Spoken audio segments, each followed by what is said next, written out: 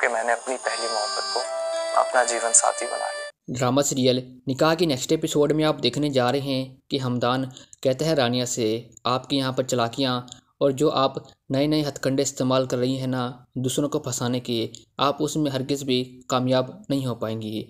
और बाकी बात रही आप मेरी बहन की वो मैं उसको समझा दूँगा। वो बेचारी कम अकल है, लेकिन वक्त के साथ साथ जब उसको ठोकरें लगेंगी तो वो भी सीधी हो जाएगी मतलब ठीक हो जाएगी। और मेरे होते हुए जब तक यहाँ पर इस घर में हमदान है तो कोई किसी का बाल भी बाका नहीं कर पाएगा।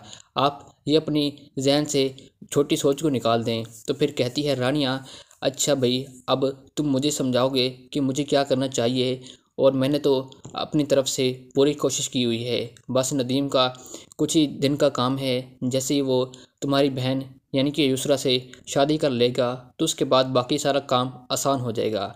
यूसरा की शादी हो जाएगी, फिर सारी की सारी जायदाद हम अपने नाम पे कर लेंगे और फिर सब कुछ लूट लाट के यहाँ पर हम अलग अपना मकान ले लेंगे और फिर यूसरा को तलाक हो जाएगी, यानी कि नदीम उसको छोड़ देगा। ये सुनने की देर थी कि फिर जो हमदान है, वो हक्का बक्का हो जाता है, उसके होश उड़ जाते हैं। क्या वाकई में आप इस कदर गिरी हुई सोच रखती हैं? मैं तो सोच भी नहीं सकता था।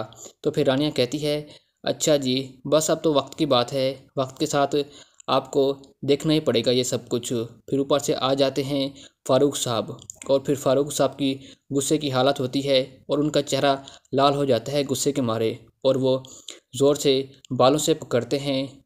रानिया को और कहते हैं कि, अभी और इसी वक्त, मुझे मज़ीद तुम्हें यहाँ पर नहीं देखना। अभी के अभी यहाँ पर अपना सामान उठाओ। मैं तुम्हें सिर्फ़ कुछ मिनट देता हूँ। दोस्तों, वीडियो को लाइक कर दें।